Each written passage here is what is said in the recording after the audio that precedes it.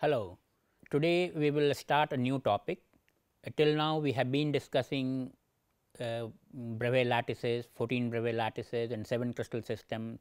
We looked how symmetry helps in classification of crystals into these schemes. We will now start a new topic the Miller indices of directions and planes.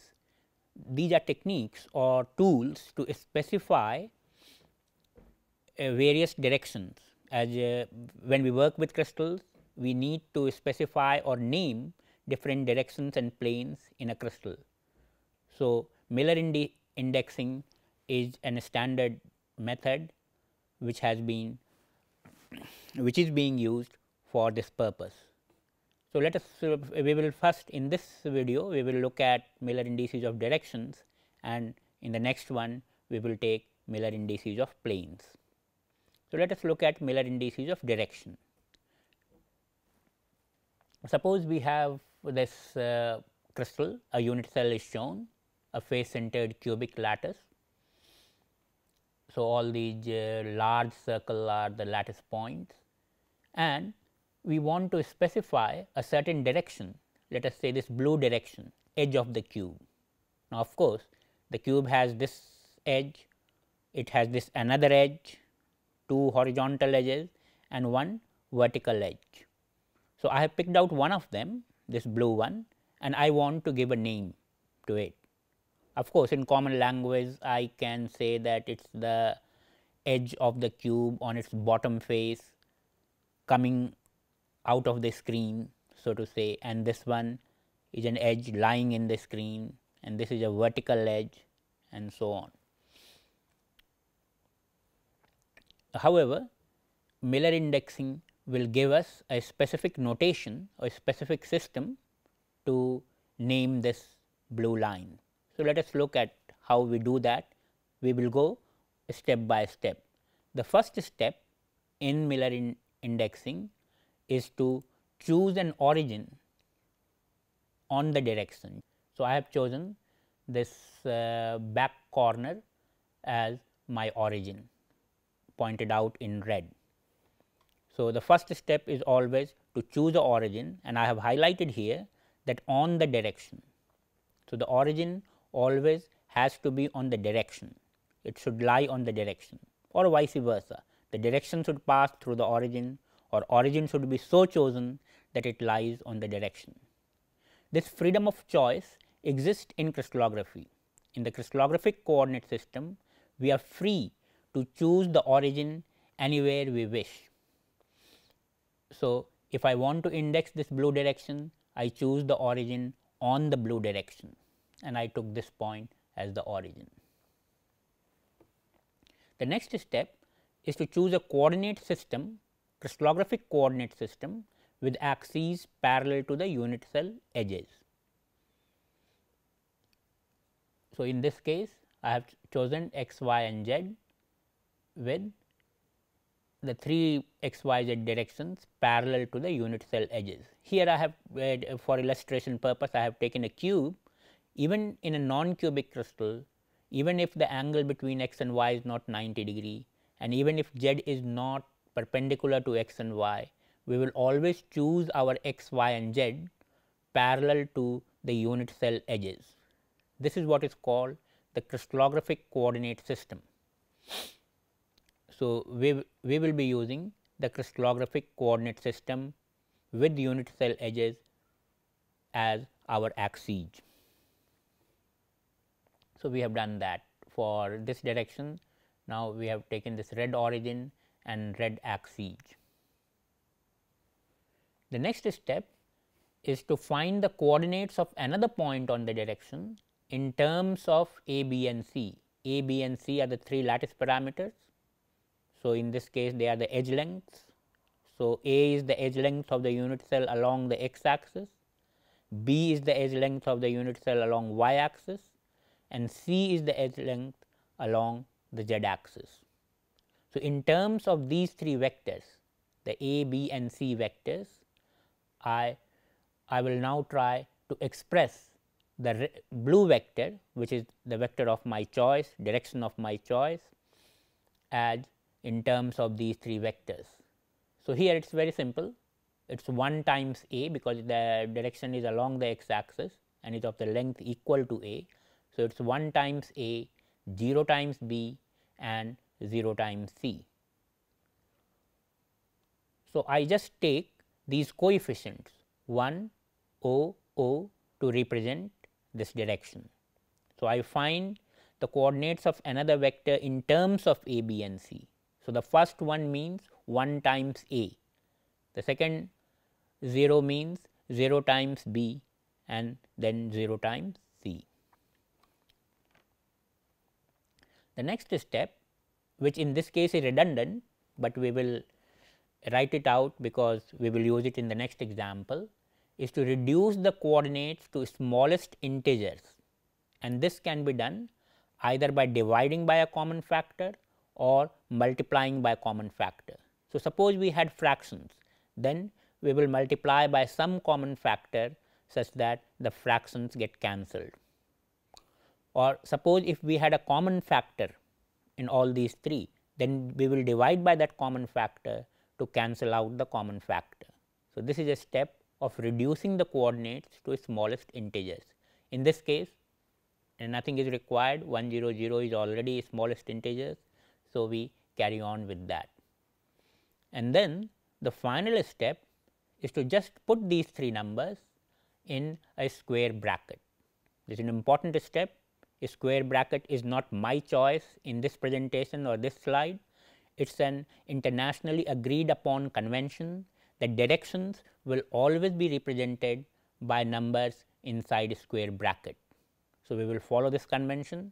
So, 1 0 0 is the direction which is represented by this blue line. So, 1 0 0 there is a slight difference between vector terminology and the Miller index of a direction.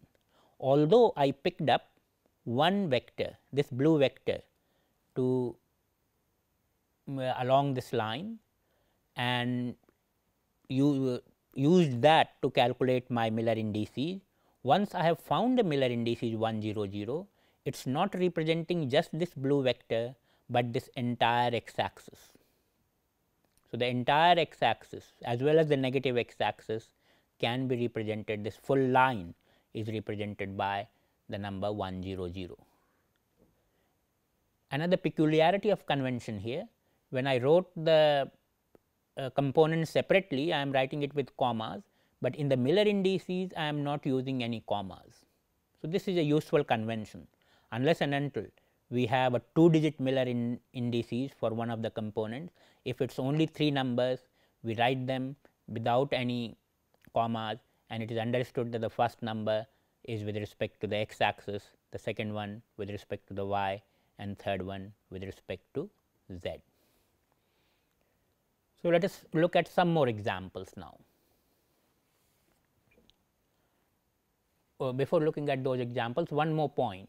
So, Miller indices of a direction represents only the orientation of the line, not its particular position in space or also its sense. So, I, I already told that not only the positive x axis, but the negative x axis will also be represented by 1 0 0 if we do not really want to distinguish positive and negative that is to say if we are only interested in the line not in the sense and in Miller indices that is usually the case, then 1 0 0 represents the entire x axis.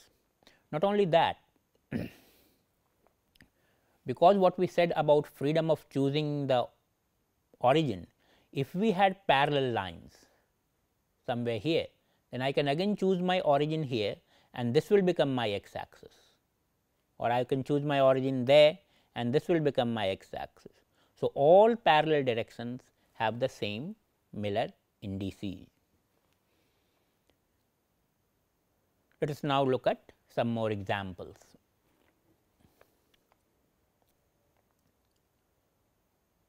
So, again we take this uh, face centered cubic unit cell and we want to index a direction which is starting from this corner and passing through the top face center.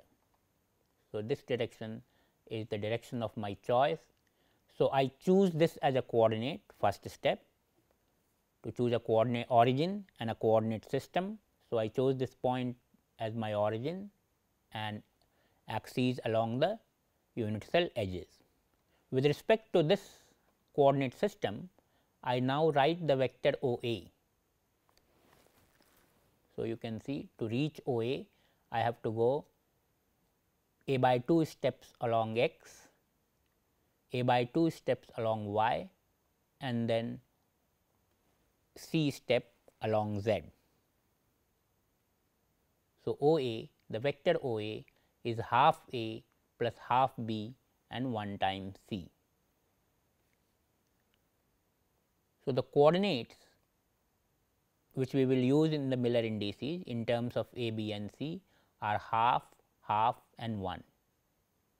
Now, I will use the cancelling of fractions step which we did not require in the previous one. In the case of 1 0 0 we did not require that, but now in the case of half half 1 we will not call this direction half half 1, but we will simply multiply by 2 all these 3 numbers to get 1 1 2 and of course, I put them in the square bracket which we have agreed upon to use as a convention for directions. So, the OA direction not just the OA vector, but the entire OA direction will be represented by this Miller indices 1 1 2. One more example, let us look at this black direction. Now, of course, I have to choose the origin on the black line and that freedom is there.